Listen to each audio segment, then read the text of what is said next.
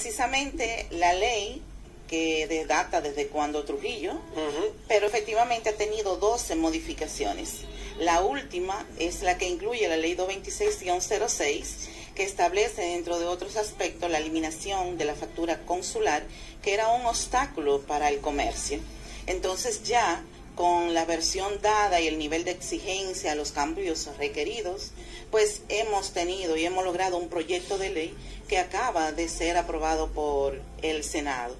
Y efectivamente, la información y la visión que se quiere de la administración actual, pues es que se logre la aprobación, porque se hace necesario tener un dispositivo legal que sea paradigma a nivel del país, a nivel de la región.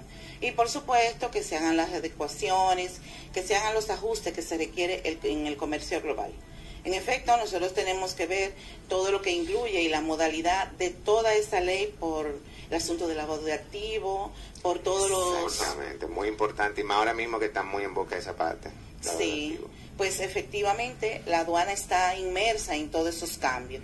Y más te digo, por ejemplo, en el marco de los acuerdos comerciales, sabemos que tenemos cinco acuerdos comerciales y de hecho el acuerdo con Reino Unido a raíz del Brexit y todos los elementos de la, Unión Europea. Pero efectivamente, en el marco del DRCAFTA, que es el acuerdo con Estados Unidos, los países de Centroamérica y República Dominicana, se contempla el despacho de mercancía en 48 horas. Pero esa ley 226-06 te establece el despacho en 24 horas. Eso que le iba a decir, que ahora yo vi lo nuevo en esta semana, justamente, es que la iniciativa de aduana sobre el despacho 24 horas, que saca la mercancía en ese tiempo, en ese periodo.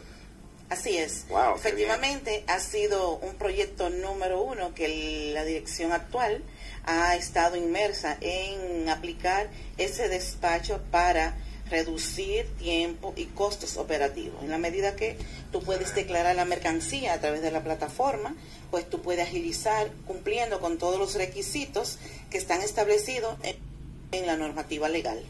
Y eso es lo que nosotros más nos gusta porque el país está inmerso. La aduana dominicana ha dado saltos cualitativos y asimismo la ciudadanía en sentido general, que tiene un interés por todos los grupos de intereses que se manejan y la mercancía que agiliza y que se simplifica. Desde que tú entras a ver qué es lo que debe hacer, cómo podemos manejar y cuáles son los pasos que debemos aplicar para hacer más bien un procedimiento estandarizado en todos los aspectos.